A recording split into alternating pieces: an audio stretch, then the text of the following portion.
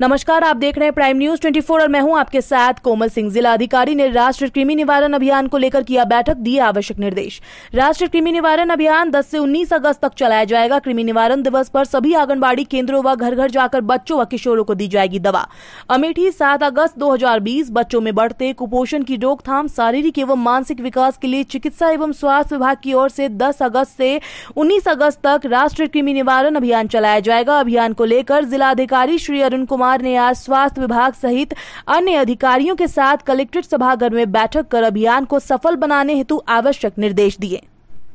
उन्होंने बताया कि आशा व आंगनबाड़ी कार्यकर्तियों द्वारा अभियान के तहत एक से लेकर उन्नीस वर्ष तक के बच्चों व किशोरों को आंगनबाड़ी केंद्रों व घर घर जाकर पेट के कीड़े मारने की दवा, एल्बेंडाजोल गोली निःशुल्क खिलाई जाएगी। मुख्य चिकित्सा अधिकारी डॉक्टर आर एम श्रीवास्तव ने बताया कि शासन द्वारा जनपद अमेठी में संतावन लाख पाँच हज़ार नौ सौ बच्चों का लक्ष्य निर्धारित किया गया है, जिसके सापेक्ष सड़सठ लाख एल्बेंडाजोल की गोलियाँ प्राप्त हो चुकी है। उन्होंने बताया कि एक से दो वर्ष तक के बच्चों को एल्बेंडाजोल 400 एमजी की आधी गोली एवं तीन से उन्नीस साल के बच्चों को एक गोली चबाकर खाने को दी जाएगी। जो बच्चे स्कूल नहीं जाते हैं, उन्हें भी आंगनबाड़ी केंद्रों से मार्फत दवाई दिलाई जाएगी।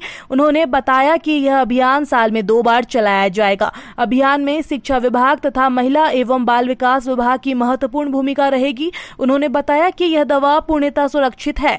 जो बच्चे स्वस्थ दिखे, उन्हें भी यह खिलाई जाए। क्योंकि कृमि संक्रमण का प्रभाव कई बार बहुत वर्षों बाद स्पष्ट दिखाई देता है। दवा से पेट में कीड़े मरते हैं, इसलिए कुछ बच्चों में जी में चलाना उल्टी या पेट दर्द जैसा सामान्य छूटपूट लक्षण हो सकते हैं।